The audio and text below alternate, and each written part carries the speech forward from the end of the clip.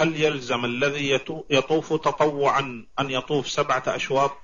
ما يصح له تطوع إلا إذا طاف سبعة.